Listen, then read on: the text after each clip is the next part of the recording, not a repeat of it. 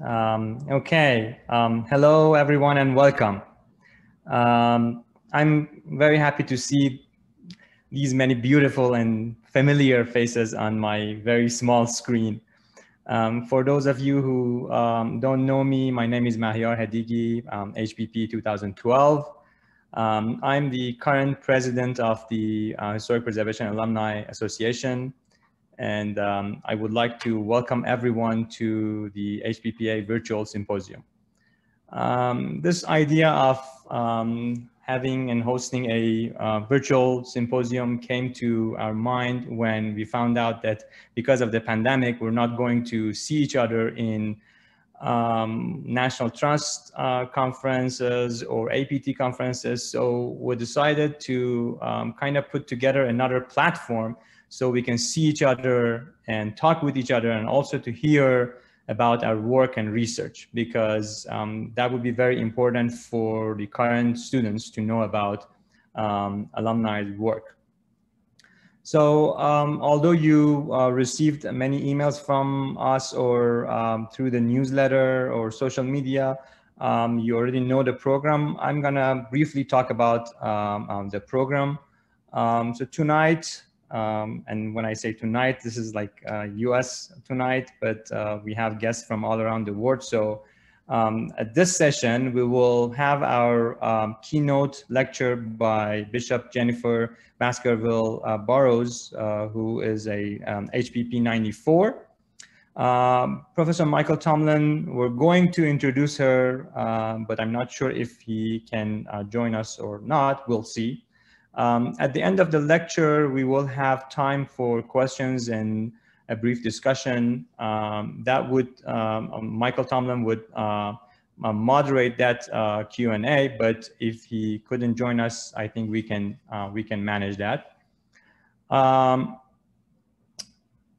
after that, um, Michael will uh, uh, give us an update on the historic preservation planning program at Cornell. That's that's why we were all waiting for Michael because he had a lot uh, to do tonight. Um, however, after uh, Professor Tomlin at 9:30 uh, um, uh, Eastern Time, U.S. and Canada, Pro Professor Jeff Chusid will host a trivia night and he will provide the instruction for that. I'm sure that we all gonna enjoy uh, hearing from Jeff and being in that uh, trivia.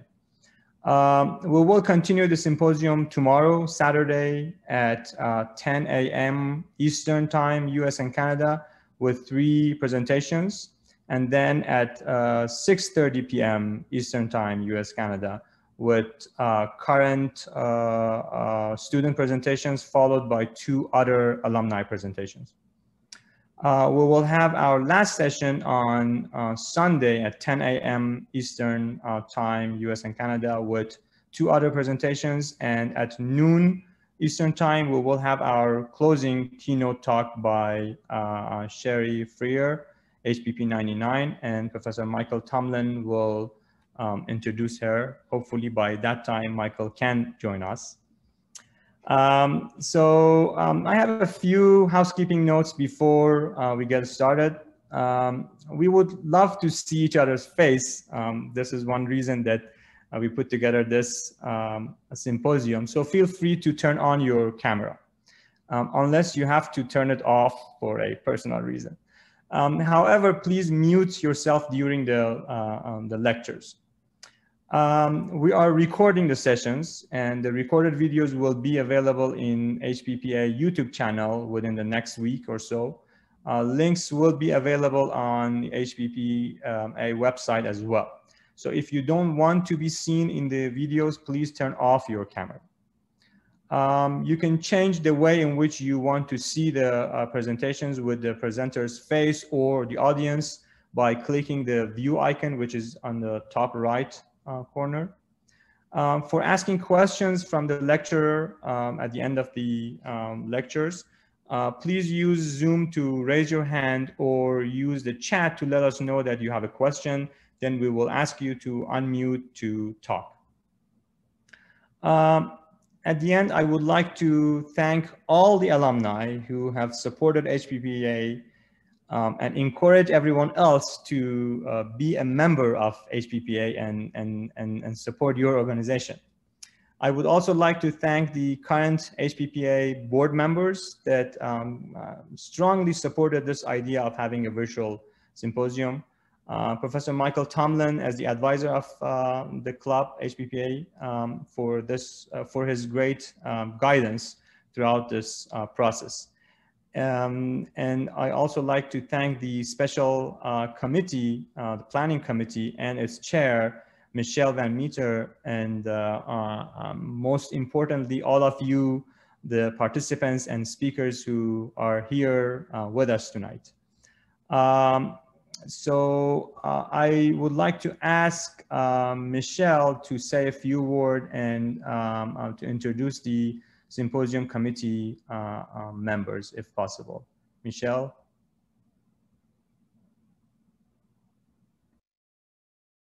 You are, un you are muted, Michelle. Hi, everyone. Thanks, Mahyar. Um, so, hello, my name and is Michael Michelle. Tomlin is joining us, so. Excellent. um, so, hello, hello again, everyone. My name is Michelle Van Meter. Um, I graduated from the Historic Preservation Planning Program in 2018. Um, and since that time, I've been living and working in Davis, California. Uh, like Mahyar, I'm currently a board member of HPPA, and for the past several months, I've been serving as chair of the Symposium Planning Committee. Um, it's really been such a pleasure to organize this event, and in the process, um, I've gotten to know many of you and learn about your unique specializations and interests.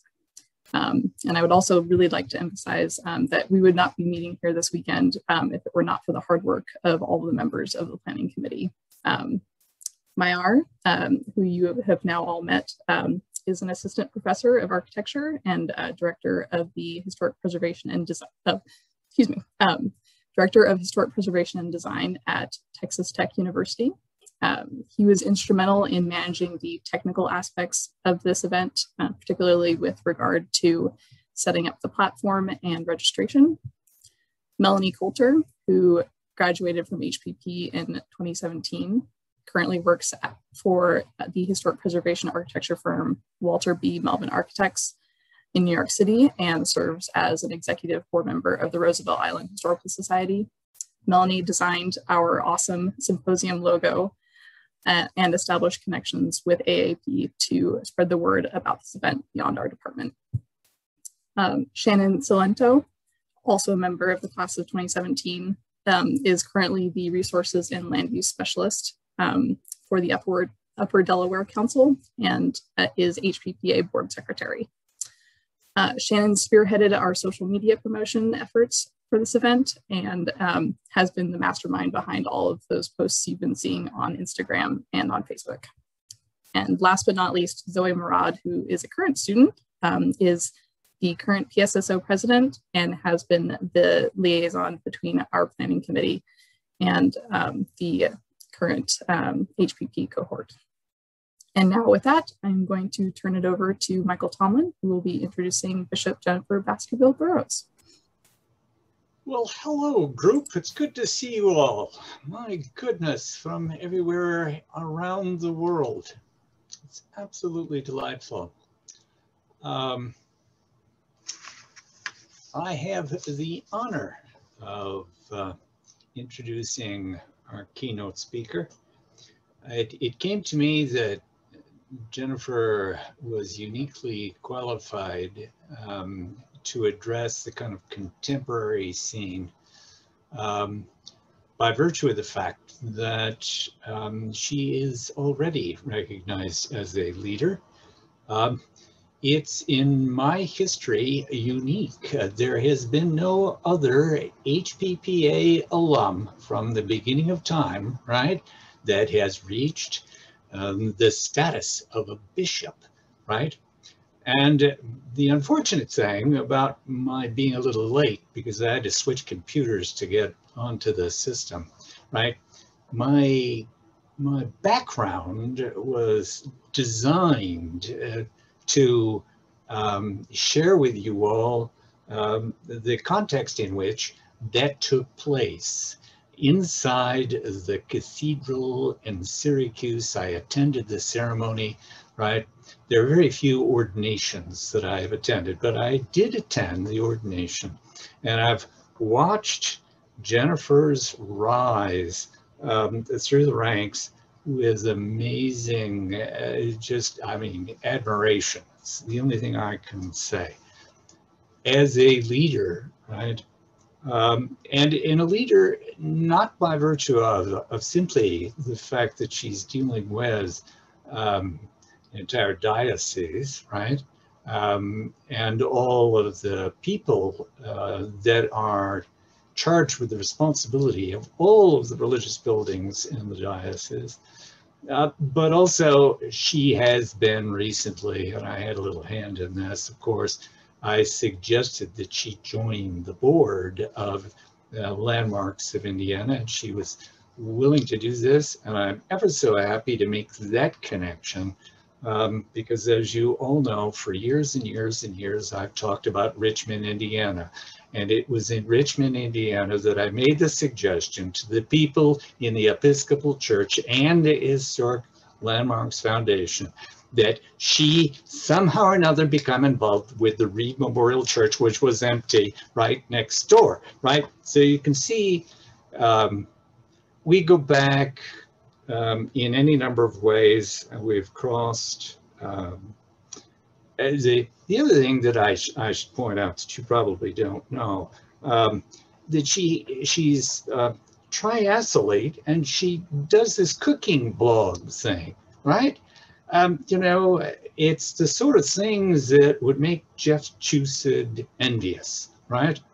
Um, but with that, um, Jennifer, the floor is yours. I'm delighted.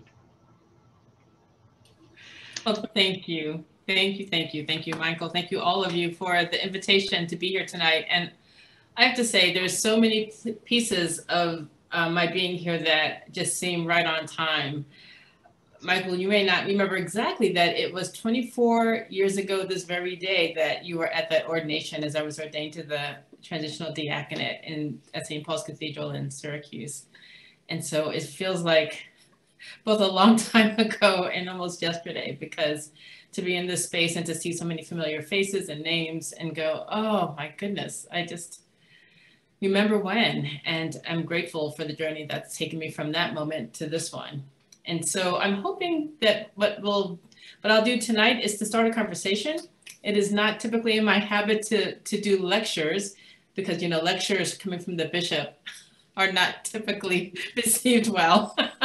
so I, um, I, I don't typically take that format and the topic which we'll be talking about around recontextualizing race and the work we do around planning and preservation is one that I think is best done in a conversational style. So what I would like to do is to talk to you about the work that I'm involved in now and what undergirds that work, and then to have us have an open conversation.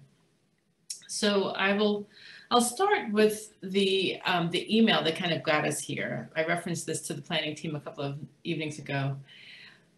And I still have this email, which is the other thing, you know, preservationists don't throw anything away. And so in my Google file, I have this email from 2016, I believe it is. It's 2021, yes, five years ago, 2016 or 15, where there was a conversation going on in the Preservation um, Association of Central New York about gun violence. And at the time, I had been serving as the assistant to the Episcopal Bishop of Chicago, working on gun violence reduction, and started talking about what we could do about it as one of these intractable problems that seem to plague so many of our cities, and actually not just our cities, as we know, but suburban and um, increasingly rural environments. Gun violence is a is a problem, and so how do we get at it, and how do we do it working um, collaboratively. And I would say that one of the greatest lessons I've learned from my time at Cornell and then seminary is that nothing good happens when you work in silos. Um, my master's thesis was really about how preservationists and religious property owners and philanthropists could come together to somehow um, create the circumstances for town revitalizations using church buildings, religious property buildings as community spaces. And I'm privileged to get to do some of that work as well as we do that work here in Indiana. As Michael alluded, my role as bishop is one where I have the spiritual care of a community, but also, as it turns out, so many buildings. Uh, the way a diocese is, is um, understood in the Episcopal Church, it's a geographical region, which in my case encompasses central and southern Indiana, basically going from West Lafayette in the north all the way down to the Kentucky border to the south and river to river between Illinois and Ohio. So 48 communities, an Episcopal school, lots of ancillary buildings, lots of sanctuaries, and lots of people worried about what to do with the building. And trying to get at that question, how do we care for religious properties, was the thing that sent me to Cornell in the first place. But I've always thought that now that um, I've become bishop, that there's an opportunity to think creatively about buildings, about how we really work at some of these seemingly intract- intractable problems. Poverty, racial injustice, um, housing uh, vulnerabilities, all of these things which are at the heart and soul of the work that we do as preservation planners, you know, community redevelopment, all of those things are are key. And it's interesting to me now that we are in the place in these United States of America that we're in, that the conversations about how we care for all of those issues is everywhere, at least in my space. It's preservationists and planners and urban designers are talking about these issues. Public policy folks, folks who are just wanting to figure out how to make it through the day or trying to figure out how do we improve our communities in the last year, we've had some really hard conversations too around race. And what I want to do tonight is talk about race and systemic racism and preservation and planning. And I will beg your indulgence as I really center this conversation on the American context, which is the one I know most. And hoping that as we talk about some of these things, um, that we're able to really contextualize them in our own place, wherever that is, whether you're in the United States or, or working someplace else around the globe. In 2020, which was such a hard year in so many ways, I remember almost about this time last year, people talking about the racial reckoning that the United States was in the midst of. You remember we were just a few weeks out from the murder of George Floyd, and protests were happening in cities in, across the country and around the globe, actually, not just the United States, but in Europe.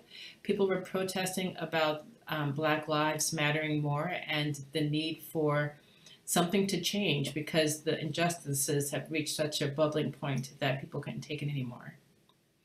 And there had begun this real interesting um, language, at least in my communities, where people talked about the dual pandemics of both COVID 19 and racial injustice and oppression.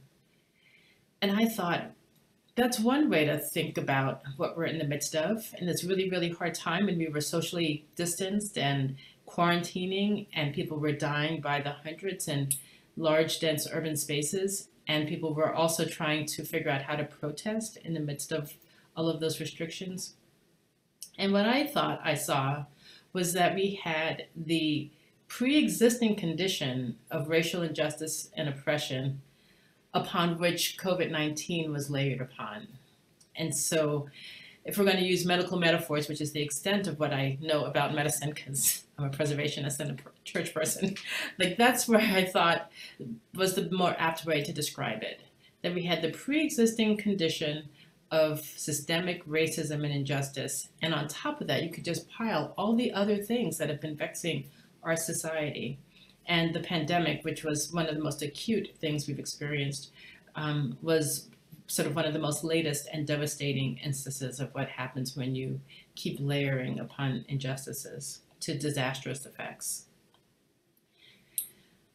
It occurred to me, though, as we were going through this past year, with lots of time, perhaps, um, if we were lucky enough to be able to quarantine safely and work from home, to um, I had a lot of time to reflect and to think you know, how do we get at some of these issues? And what I'm hoping we can talk about tonight is the ways in which the fields of historic preservation and the allied disciplines of urban and regional planning and architecture and real estate and landscape design, how those disciplines, the ones that we care so much about, can be a part of the solution instead of playing too often unwillingly, unwittingly in the role of being complicit in perpetuating the circumstances that we are trying to actually undo.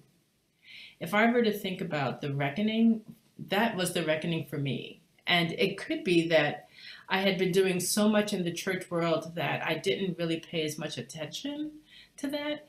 I had been working in historic preservation since I graduated on the local small scale. Every church I served, I would do something around preservation projects or consult here and there. But it only occurred to me last year, really, that so many of the sources of discomfort and distress in society are problems that we preservationists and planners are actually equipped to solve. And that we have some repair work that I think our disciplines are um, must do because we're part of the problem too often, at least historically anyway.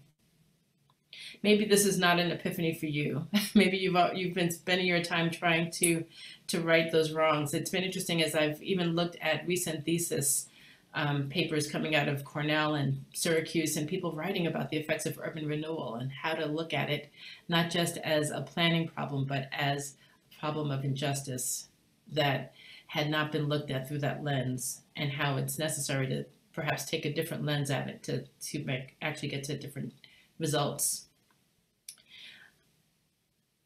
I think it's really important and it changes things when we listen to those who don't often get listened to. And that is often a part of what my day is about is to listen to the people on the margins, those who feel invisible, those who feel like they have been silenced in one way or the other, overlooked because they are under-resourced or um, housing vulnerable or whatever it is that puts them on the margins. And what would it mean to center those voices and those lives in the work we do? It's a question I would want to raise. Every now and again, I will hear just from conversations primarily rooted in the religious landscape, but people saying things like, the place I live in was not designed with me in mind. What do, when do we get to have things that are preserved or designed or planned for us? And that us usually meaning a community of color that's been in distress for generations. It's a question that brings me up short, I will admit because a lot of those spaces, if not initially, certainly not since some of the, their, um, since they were created, were not designed with the people who are most likely to use them at the table, at the drafting board. And so the question we have before us now is how can we shift that? What are the ways in which in looking at the past and the ways in which communities and histories and cultural artifacts have been erased in the name of progress, what can we do now to shift and change things? I, I know we've been working forever to improve communities and those attempts have yielded some um, incremental results and change takes a long time. But I think it's a different moment now where we actually have to be compelled to include a variety of voices at the table that didn't often get to the table, to look at the displaced stakeholders in the communities and put them into the process of decision making from the very beginning, which is not typically the way I think our fields operate. I've been taken by the work of Justin Garrett Moore, who you may know of his work. He had formerly been in New York City and is now the program officer for the Humanities in Place program at the Andrew Mellon Foundation. And he said this last year in a piece he wrote, that gave me some more fodder to think of. He said, New York has been shaped and reshaped in many ways over, over time, but we must acknowledge that it has not always been built for the benefit of all. For generations, elite white men decided for the most part how the city's common spaces were planned, designed, built, operated, and maintained. Former New York City Planning Commissioner Robert Moses famously made structural racism literal with his highway and park designs that bulldozed lower income communities. The reality is that New York, like most cities, has been designed for difference, he wrote. He said segregation in housing and schools, unequal and unjust investment in public spaces, infrastructure, and services, and a lack of representation of the multitude in the commons, and of course by reinforcing the indelible marks of the city's income and wealth inequality have been baked in. Close quote. So friends, I want to suggest that if there are conversations happening in the preservation community, in the planning field around systemic racism, white supremacy, and injustice, if those conversations are happening, I would love to know about it, but I have a sense that they are not happening to a large degree, maybe here and there. But I believe, like the church, where I spend a lot of my time, most of my time, it's a conversation we have to have if we want to be different. And it is from not having those conversations and talking about how to name the thing that is the the sickness really in our society without naming it and then figuring out how we each in our own way can chip away at it to dismantle the systems that keep making this work that we're about so hard. Um, if, if we're not all leaning into that, we're not going to get to where we want to go, or at least where we say we want to go. So I want to um, define some terms. Every now and again, I'll get a piece of hate mail from someone who's upset about the terms I used, which are, you know, technical terms for the most part around systemic racism or white supremacy in particular. And I'll just note that using that language, which is one that we use all the time in the Episcopal Diocese of Indianapolis, because we talk about how to dismantle racism, systemic racism, all the time. And so I forget sometimes that not everybody talks this way. So I want to talk about white supremacy and not think about it so much as um, isolated incidences of KKK members in white hooded robes, right? Like that might be the thing that comes to mind most um, visually, particularly out of a, a time in our history when that was pretty much the only way to think about it. But I want to think about that term and use it in the way folks in the field use it, which is about a more structural and then more deep-seated um, dynamic where you create and have systems where whites disproportionately and systemically, systematically are advantaged over people of color. And so without being able to understand some of those dynamics at work and the enduring effect of multi-generational campaigns of, of um, this sort of advantaging one group over another, we're not able to, I think, really get at how to fix that piece that's keeping us from doing the work that we want to do to create beautiful, safe communities for everybody. And histories, buildings, artifacts that are preserved that tells the whole story of all of us in the United States. If we're not able to name that and to think about how do we design, how do we preserve, how do we tell the stories and, and um, preserve the landscapes of a wide variety of experiences, then we're going to be doing less than I think is possible um, and necessary for the good of the field and for the good of the people that we're actually trying to um, work on, on, on their behalf. So if you can name it, I think it gets us out of the um, tendency to be just automatically complicit in perpetuating the systems we're trying to undo. I'm going to tell, um, I'm going to show some images to help explain sort of what this looks like. I'll start with just naming a story, my experience of being in Syracuse when I served as the rector of Grace Church in Syracuse and chaplain at Syracuse University. I was there from 2004 to 2012, and I'll note that when I arrived, there had been great hopes that there might be some uh, work done in what's called the 15th Ward, which is one of the neighborhoods of Syracuse where Highway I-81 was coming through and basically bulldozed a good part of the historic Black community that had been there. A neighborhood of black folks who were primarily renters, renting from a, primarily, a formerly primarily Jewish community, and had been displaced by all of the typical means of the day. This was actually quite early in the late 1950s um, to make way for the highway, the stateway as, as it was called. And so Grace Church was an integrated, still is, an integrated parish of almost half black and whites, which is not a common thing in the Episcopal Church. It is still true, as Martin Luther King Jr. once quipped, that you know 11 o'clock on a Sunday morning is the most segregated hour in America, and unfortunately, that is still too true.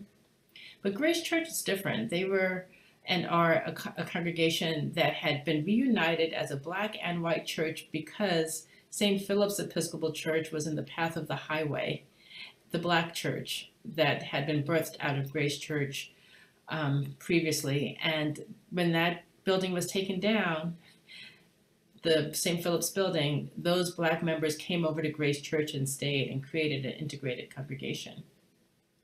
The pain, and, and by that I mean literal trauma that still resides in that community, is that Highway 81 ended up being built across the street from where St. Philip's sat. And so the building was demolished for no good reason. And I believe there's still a parking lot there on the corner to this day. And there are stories like that across the country, as we well know. But being a pastor to the, to the community, but just trying to figure out how to heal and do something different there is one that will stay with me the rest of my days because 50 years after the fact, living members in their oral histories and the ways in which they were trying to eke out their life were still living with the pain of that um, scar in the neighborhood in ways that were just as if it had happened the day before. I stay on the PACNY listserv because I care about Syracuse, even though I haven't lived there since 2012. And it's fascinating to me that the conversations that began in about 2005 or six around what to do about the highway that was reaching the end of its natural life and was needing to be dealt with, repaired, or taken down. Those conversations, I think they're just a little bit further than they were when I left almost 10 years ago, but they're, they're still trying to figure it out. It takes forever.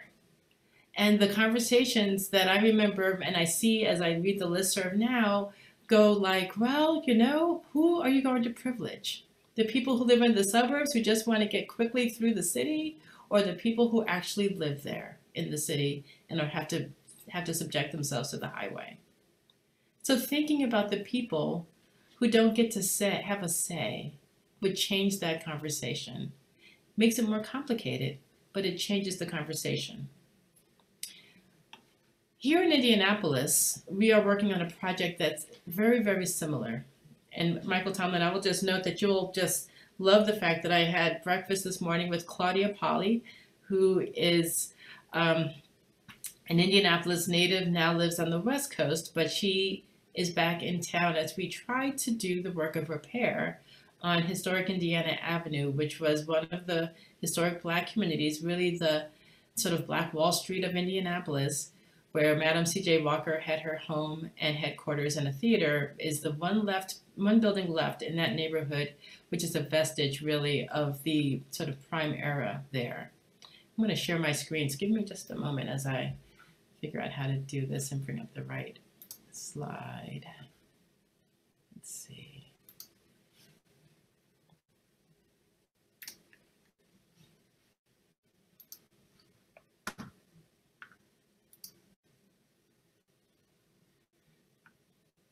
Okay, so what I hope you see here is a slide. Um, uh, it's a historical map of Indiana Avenue in 1937. If I can use my cursor here, you can see at the bottom right hand of the screen, I'm sort of turning my cursor around to this point at the corner of Indiana Avenue, and over here is sort of West Street.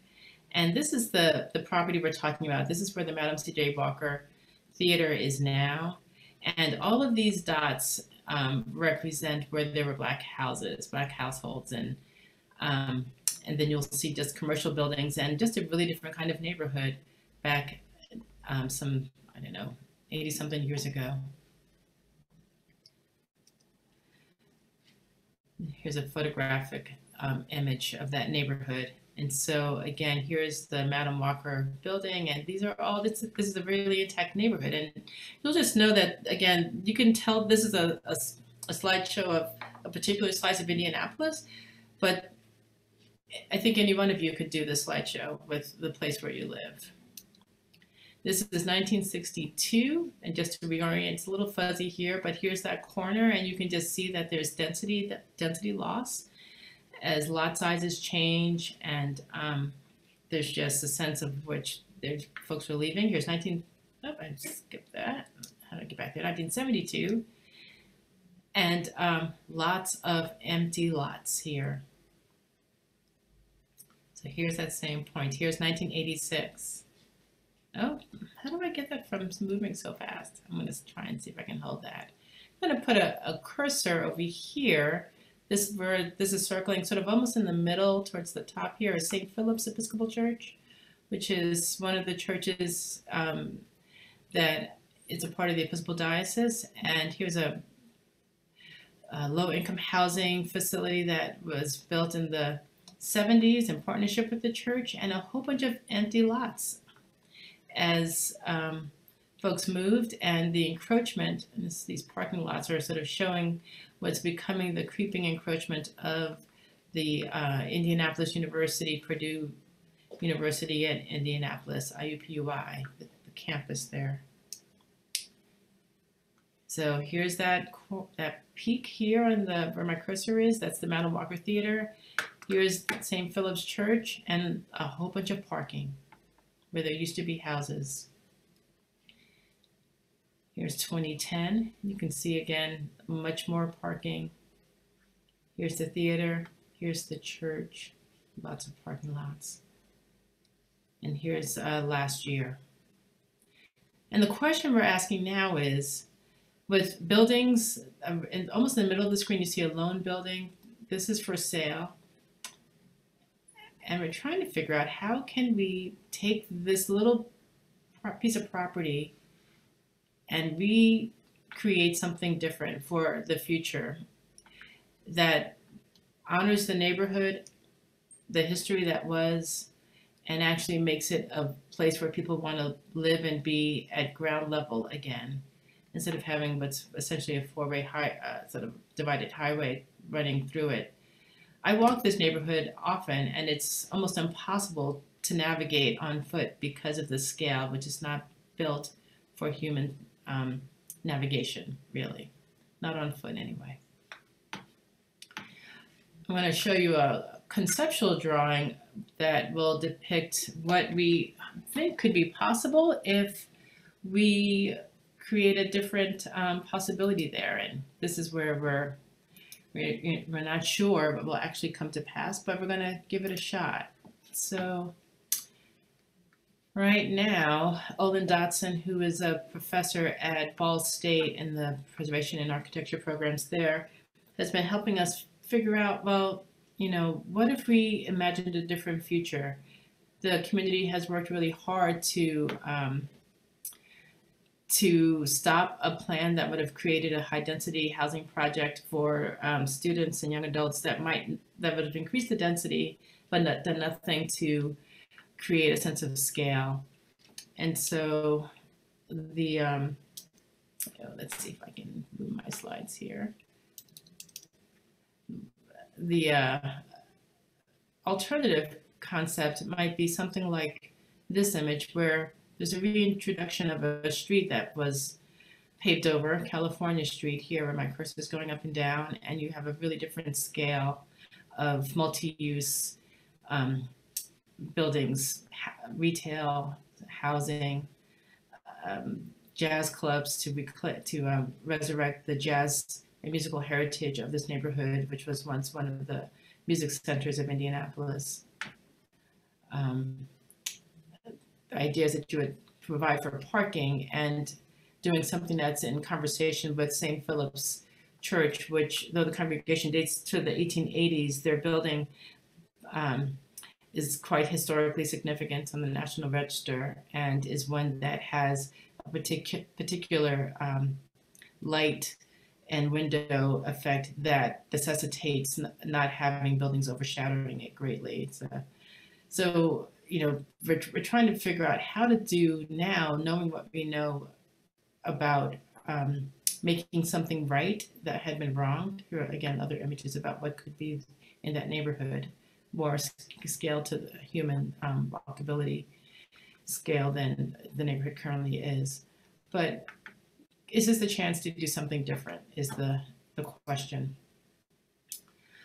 Um, I'm going to close with thinking about how do we then talk about these things. And I'm going to go back to the work of uh, Justin Garrett Moore, who's introduced me to the Black Space Manifesto, which, if you know this, um, I, I, I, applaud you. It's new to me, it, but this Black Space uh, Collective is a group of architects and artists and activists, designers who are trying to change the way we do preservation, planning, renovation of our communities.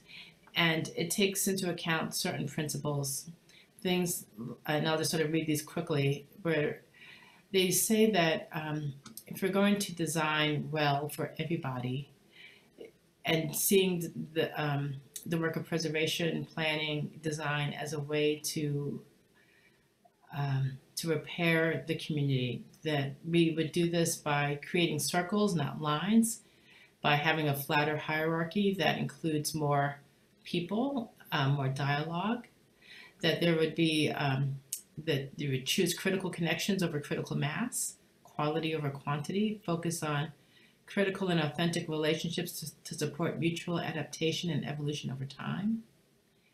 That projects would move at the speed of trust, which is something we say in the church a lot, where you grow trust and move together with fluidity at whatever speed is necessary. That notion that you can only move um, your relationships, projects move at the speed of trust, where if we're not naming the things that get in the way, and systemic racism is one of them, one of those dynamics that people typically don't want to talk about, but then not talking about it means that we're not able to build the trust to get to the kind of projects that might actually benefit everybody.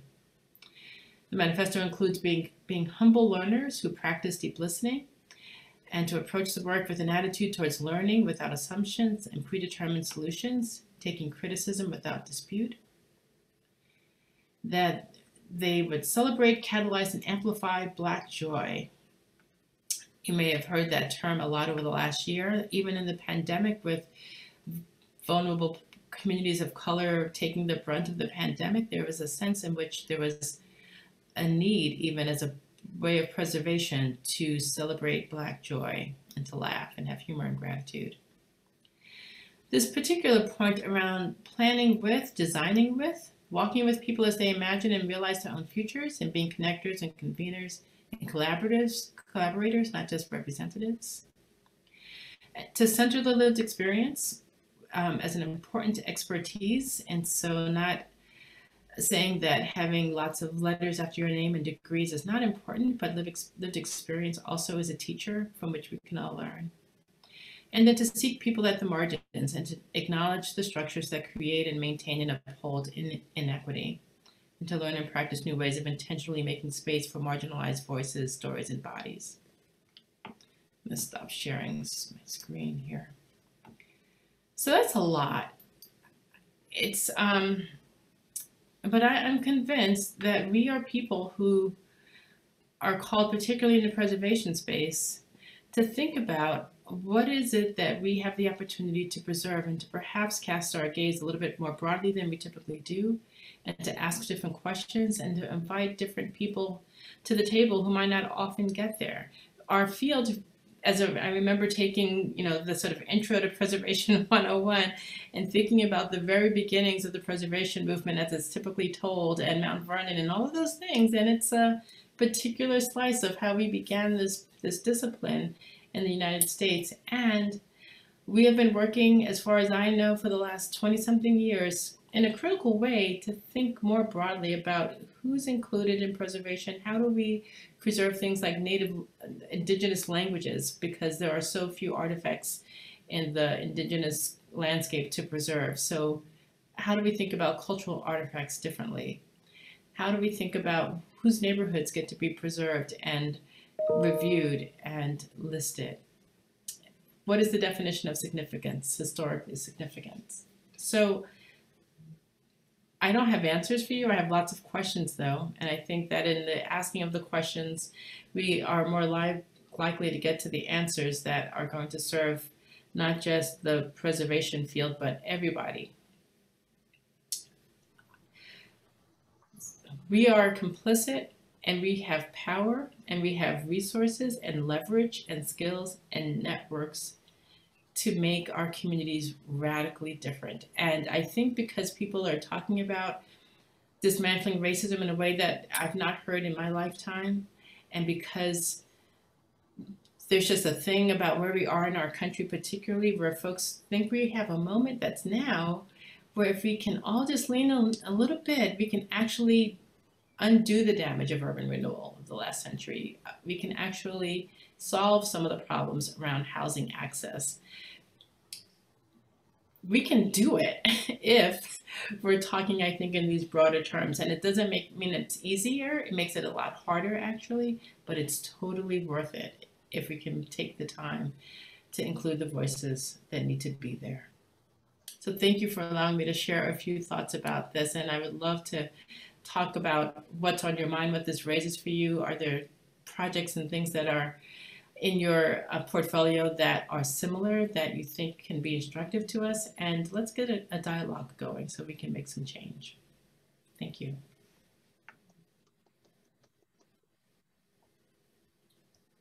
Thank you, Jennifer.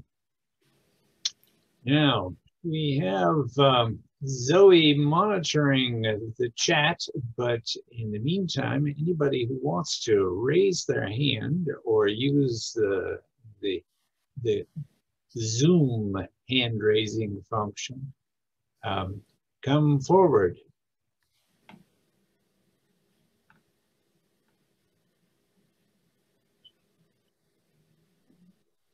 Such silence, uncharacteristic. I'll jump in. Um, that was wonderful talk. Thank you very much. And um, part of what I wanted to say is a little bit of reassurance. Um, I actually sent you um, our colloquium speaker list for this year because Justin Garrett Moore we had last year, and we've had some very interesting people who are in, deeply engaged with these issues come and speak to us at Cornell this year, and and you're right. It's it's um, it's essential, and it requires a lot of rethinking. And we've had as a um, college um, diversity and inclusion committee and several town halls, and it was sort of interesting that city planning has had a diversity inclusion committee since the 1970s. That sounds good at one level. At another level, it's like, so what have we accomplished? But, but what was striking is there has not been any such committees for the other two departments in the college until this year. And so, so that, so the conversations have really begun uh, I think, to be taken deeply. And of course, the students have been a lot of the impetus. And I think one of the really critical aspects of it is, is diversifying the student body because it's the students who push us, bring the insights, and also compel us to teach what's meaningful. And so We've had some level of success at the undergraduate level. We, um, the URS program now, our undergraduate regional sciences, um, has much more diverse student body than it, even just a few years ago. The graduate level, it's much slower and more difficult. And I think it's, it's an important challenge that we look at as a department. Um, but I think the, you know, it's the, the nature of the conversations that we're having, I hope begin to reflect some of the things that, that you address and, and, um, and it can't be said enough, you know, and, and I think part of the hard part in some ways is going to a place like Syracuse, walking around, looking at the damage and then saying, look at what we did, and then feeling almost overwhelmed. The other side of it is obviously what you showed with your designs was a certain level of, of um, possibility. And similarly, in some of the workshops, like we did a workshop in Cleveland with Midtown Cleveland, was trying to do something similar. Just the sheer enthusiasm of the community and the almost, I don't want to, you know, the word gratitude almost seems wrong, but just to be listened to and be part of a process, a design process for their own community is the energy that helps us overcome that um, the sense of guilt in the sense of like well what next? Um, so i think the that ending with that possibility and then how to make these things happen that's that can raise the passion again thanks jeff others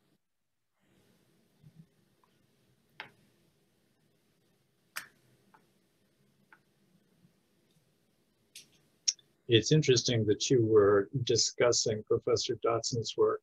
Um, of course, he was at the Richmond conference, so we had a great, great time going, you know, through memory lane, lane in many respects. Um, the thing that um, came out of that particular meeting in Richmond, um, because I was asked to comment, and of course, having done the survey in the 70s, and then I returned before the conference, which is all on a YouTube if anybody cares. But um, I, I, returned basically to the same neighborhoods uh, to examine um, the same communities. It was very interesting. In fact, the very striking aspect of that conference sticks in my head is there was a patrolman who is now the chief of police in Richmond, Indiana. The patrolman is one I had met when doing the survey with the students on the ground. And he was able to give me a snapshot of the change in each of the neighborhoods over time in such a way as to understand that the demographic profile and the crime, because we began with the question that drug uh, enforcement is difficult it's again racially charged. And the question of safety and the, and the question of how it is that we teach um, people about gun violence, right, is something um, that has to be somehow infused, right?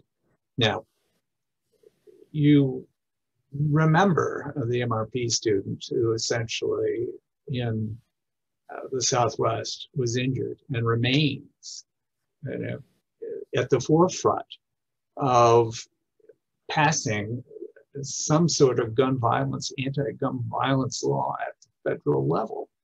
Um, so we all have a role to play, regardless of where we are, um, in the manner in which this this comes out in, in a political sense. But as you're suggesting at a local level, um, the question is, well, how is it that you manage uh, to address the concerns of the people in those houses, um, in those in those locations.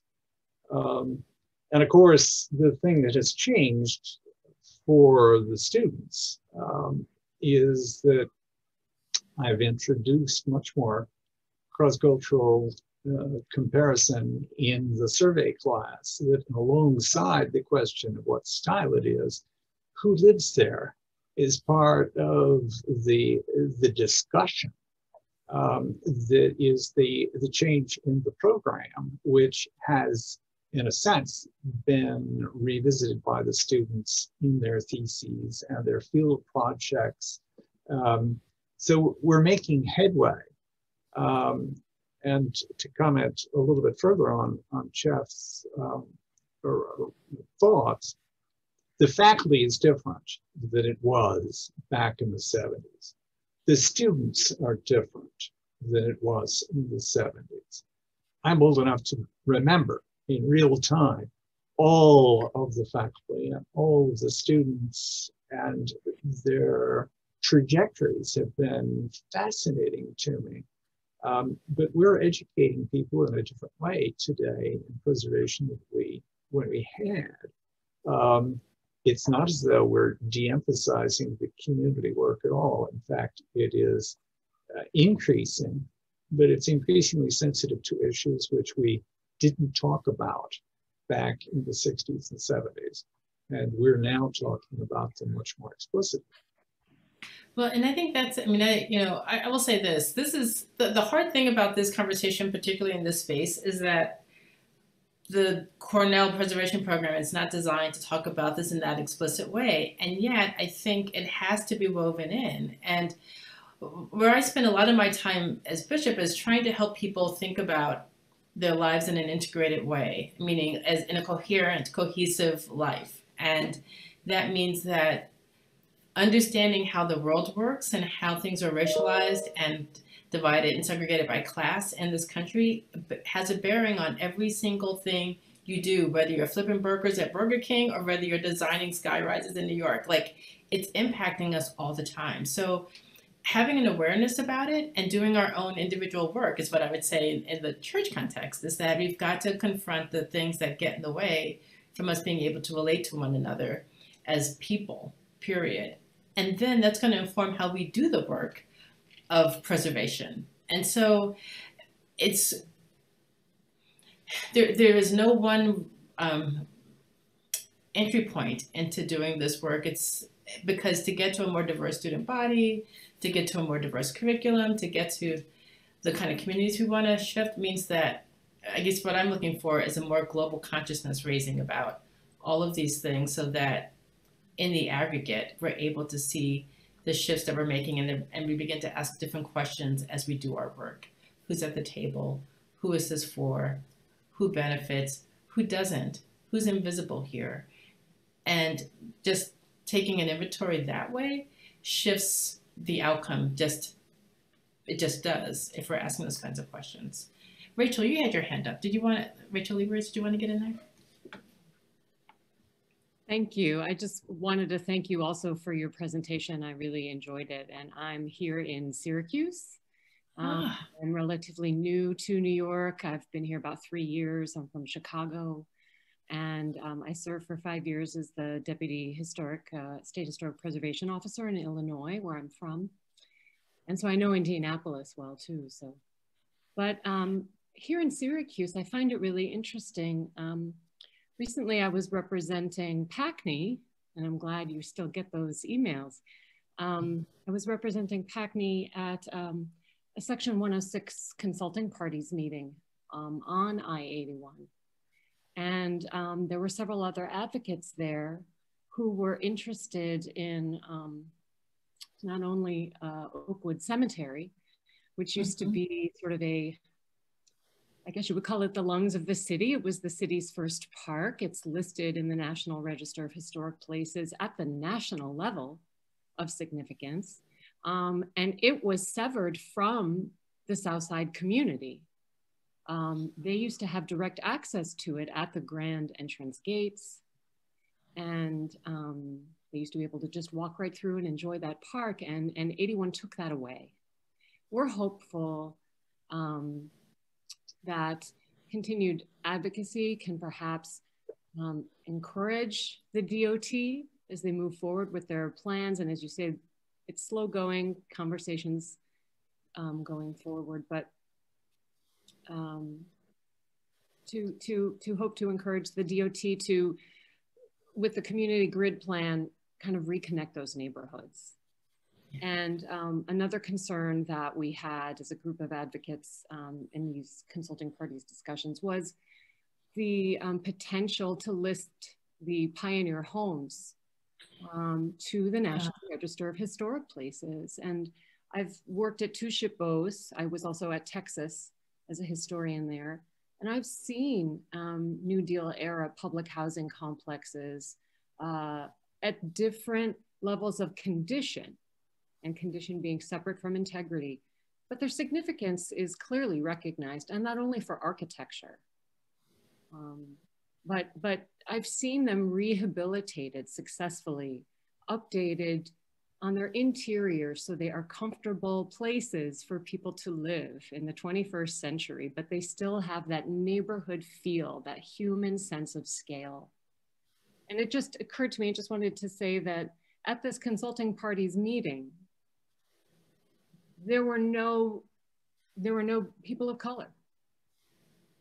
And so whether or not they were aware that conversations were taking place and they could ask to be a part of that, um, I'm not really sure, but there were no people of color at the table. And that was very disheartening to me. Um, and so I don't know how we get um, our state historic preservation offices and our state and federal agencies to recognize that they really sometimes need to go above and beyond the typical public notice in the paper. And they should really be a little more creative with who are they including or inviting to these meetings, these conversations, and to cast their nets as widely as possible. Um, because I think it's really important for people to be able to advocate for themselves or have their voices heard and they may all be very different those voices. They're not all going to be in concerts. They're not but we need to be sure that we that we include those voices and listen and i'm just very concerned about that. So as preservation advocates as we're all either be, you know being trained to become or we are. I just want to encourage people also not only to to um, to listen as you were telling us to do, make sure that we listen. We, we have to make sure that everybody's invited at the table. And I also just want to make sure that we're not only looking at something for its physical appearance, right? We're talking about people's homes, their neighborhoods, their places, the places where they live. And sometimes it's not criterion C for architecture. And I can't imagine nominating something without a criterion A consideration ever. So um, what is the social history? What is the cultural history? What, what are the stories of people? So I really want to thank you for your, um, your presentation. Thank you, Rachel. And thank you for that comment. Now note that the, the person who holds the second highest position in the Episcopal Church as a lay leader grew up in pioneer homes. Byron Rushing, one of the longest serving state senate state representatives in the House in Massachusetts, just retired a few years ago from 31 years um, in the House and affected marriage equality that became a national, grew up there. So there's, you know, it's funny to hear him tell the stories about what it's like to have been there as a child. Um, and yet he would love to know that that's actually a conversation. He, he works in um, Black historical circles in Boston now, and I'll make sure he know he knows what's happening. So thank you for that. I see Jeff and then Sherry. Actually, Sherry, I think, had her hand up before me. Okay, so Sherry. Hi. Hi, thank you, Jeff. You are too kind. Bishop, thank you for your talk. That was, uh, I am feeling re energized. Thank you for that. Uh, I often say in public service, every day is a due day for someone to call me stupid or threaten to have me fired. So uh, it's it's good to feel re energized again. And uh, just a quick shout out to Rachel. She and I were reached recently on a uh, panel uh, discussing infrastructure, uh, a niche subject that I'm interested in, uh, parking lots. But, um, you know, I do share that concern about engaging communities. Uh, it is so challenging, particularly at the federal level, because we are not right there with the community. We are in Washington, D.C. for the most part. And um, my first 10 years out of grad school, I actually worked as a landscape architect at the local level and was very engaged with communities and often found uh, rather confused responses when I would invite people into these conversations. I recall clearly contacting uh, the municipal police department and wanting to speak to the two officers that had the beat where I was designing a park because I wanted to understand their concerns about this space what uh, what their uh, perhaps if they had any safety concerns for that area or or if not but they were absolutely baffled as to why somebody at dc parks and recreation was calling them for their input Uh, so even once we can try and engage, just trying to get uh, the conversation going is so challenging. That said, that is not something we're going to stop doing. So um, again, I thank you uh, for uh, re-energizing me in, in that respect. Well, thanks, Sherry, and uh, good luck with all of that. Getting the conversation is uh, it's hard, but I will say we the the whole community loses when we don't talk about the things that we like when we don't engage, and so maybe those inroads, little by little, will help people get to the table a little quicker. Yeah, Jeff. Thank you. I just wanted to very quickly note that we have a new faculty member joining us um, in the fall, Sara Bronin, uh, who's actually a Mexican American preservationist, and she one of her major projects. She'll be joining as a full professor. One of her major projects has been something called desegregating Connecticut, and so she's been really clear about tying preservation to zoning and segregation and its history, as well as to climate change. And what makes me optimistic about um, one of the points that that Rachel made is that um, there's a possibility that she may also be the next chair of the advisory council, which suggests that someone who really cares about these kinds of communities, um, you know, could be in there. I mean, I think there's certainly interest in the Biden administration in getting a more responsive advisory council and and so we'll see i mean but i think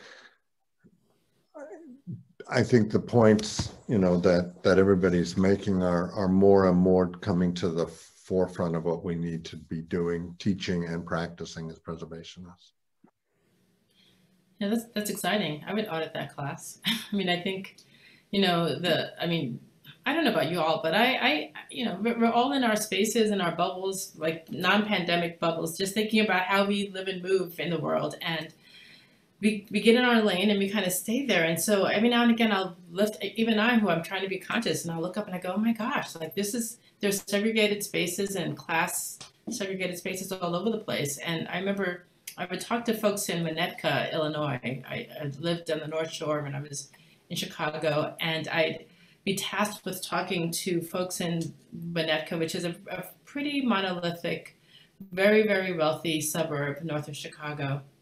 And people would say, well, what does the gun violence in Chicago have to do with me? I live here.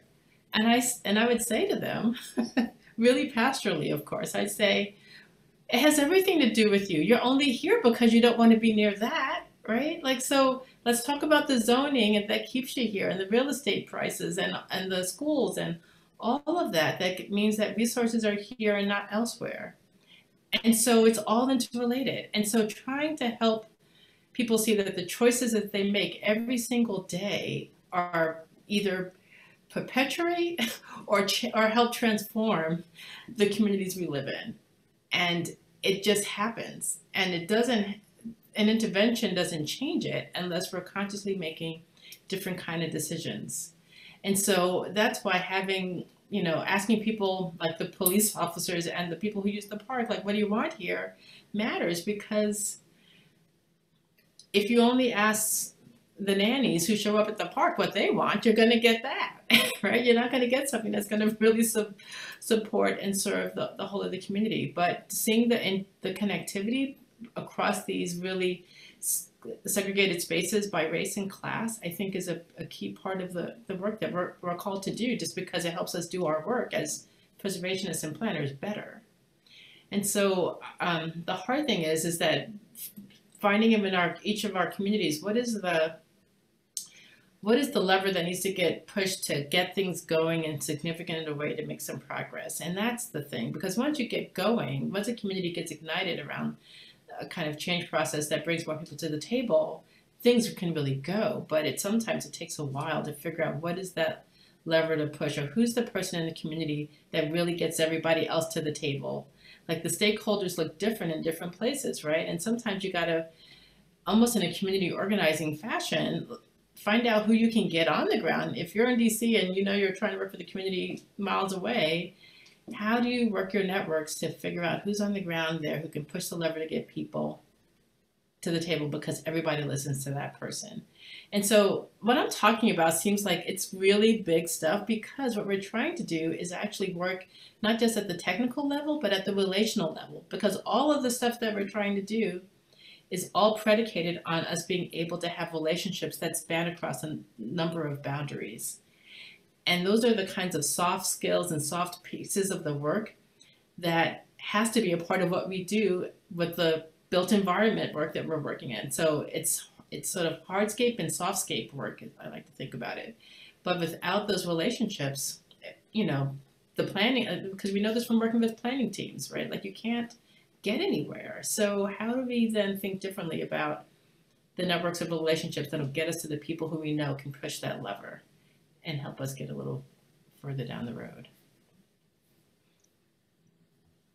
Thank you, Jennifer. I think um, in the interest of time, we'll move right along. No, it's late. Thank you. Um, we very much appreciate it. Uh, now, next on the agenda, I was supposed to say something as a program update, but Jeff has already told you about the program update. We're getting a new preservation lawyer, so we could move past this. Oh, the other thing is that uh, Jeff is going to be chair for a little longer, right? Uh, just a little longer until the new chair comes in. One would assume January 1st, right? Correct.